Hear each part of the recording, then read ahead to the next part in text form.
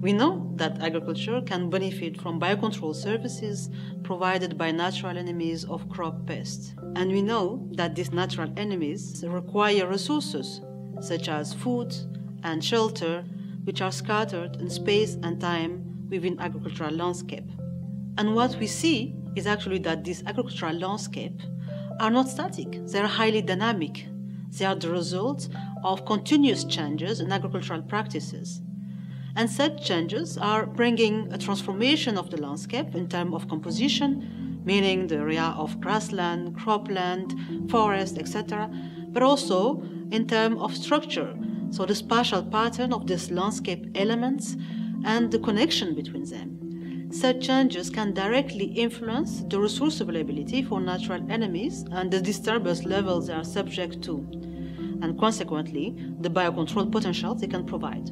However, what we don't know is what are the consequences of these land cover changes for natural enemy complex across agricultural landscapes and what is actually the potential of this natural enemy complex for the suppression of crop pests.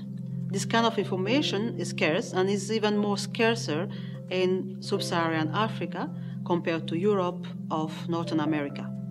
To answer these questions, we choose as a study landscape the Rift Valley region of Ethiopia, and we assess the changes in land use and landscape structure over the last 30 years by a triangulation of methods, an analysis of the satellite images, participatory mapping, and focus group discussion with farmers, and a review of secondary literature. To assess the density of natural enemies, we set up pitfall and yellow pan traps in maize fields bordered by ensets or chat or different type of hedgerows, dense and simple, and these at different distances at 1, 10, and 30 meter.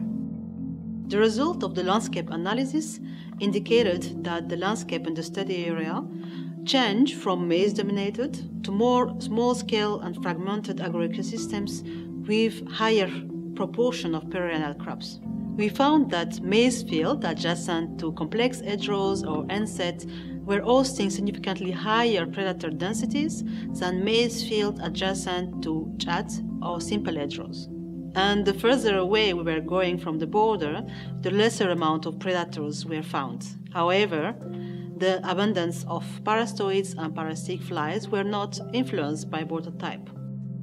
The findings suggest that the changes in land use and landscape structure may have influenced the capacity of the landscape to support population of natural enemies in different ways. On the one hand, smaller field sizes resulted on more field borders, which may support higher amount of predator densities. On the other hand, the area of chat increased and the area of enset decreased, which may have a negative effect on predator densities. Therefore, the overall outcome of the landscape changes for natural enemy abundance and the associated potential for stem control will depend on the interplay of these opposing effects.